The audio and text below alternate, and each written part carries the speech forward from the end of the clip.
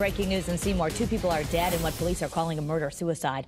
Officials were called to a home on Manners Avenue shortly before 10 p.m. last night. Police say a man told officials he was concerned about his parents and that he could not get in touch with them. He then drove to their home and found them both dead. Officials say there is no threat to the public and that this was likely a domestic incident.